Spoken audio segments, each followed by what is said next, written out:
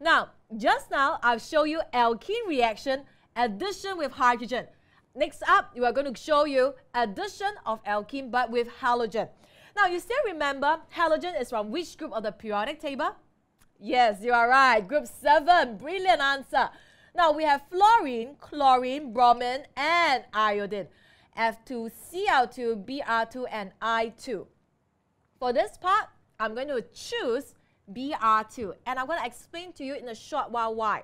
But of course, let use let, let us use one example. So the first example I'm going to use is ethene. So let's draw out ethene. Ethene is monkey eat. So it's 2C, 1C, 2C.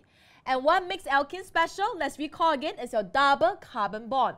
So double carbon bond, H, H, H, and H, plus a Br2. The double carbon bond will open up to become a single bond. Now, single bond, and you will tick in and write out your Br. So, first step, copy the same thing down.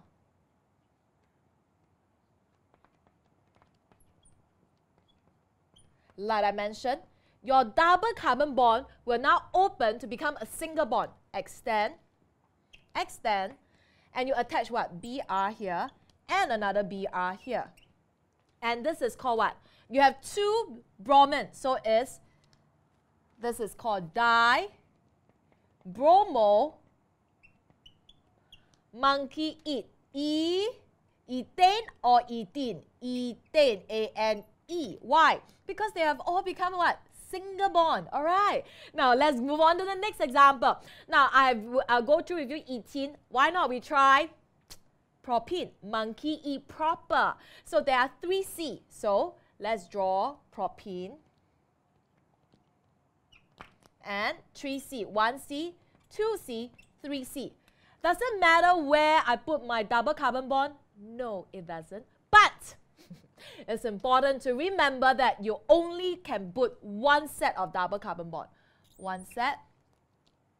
Extend. One carbon got four lines. One, two, three, four. One, two, three, four. One, one, two, three. H, H, H. Same thing, I will add a BR2. Huh. Now I want your eyes to be on the double carbon bond, okay? So watch carefully, okay? Watch. Don't miss this out. All right, double carbon bond. H, H, H. Yes, I'm copying everything as per normal. I didn't make mistake. There is a double carbon bond here. Like I say, the double bond will open to become a what? Single bond. So, I'm going to clean the double bond here away. And extend it down one line and another line. And I will insert the BR here. BR, BR. And now I become a what? This is called di-bromo. It's not propene anymore, it's propane. Why? Single bond. Okay? Now, this part I want you to watch carefully. Many a time, the question will be given and they ask you to choose the correct answer.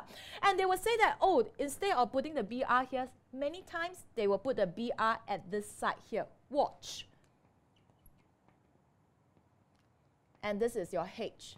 This is wrong. Why? For addition reaction, you must remember, you only add at where the double bond is.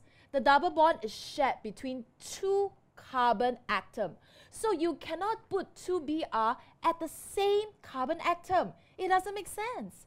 So it must be side by side and next to one another over here at this side. Can you see? So the correct answer, like I showed you just now, should be the Br here.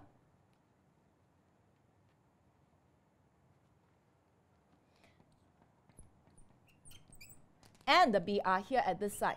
It is shared between two carbon.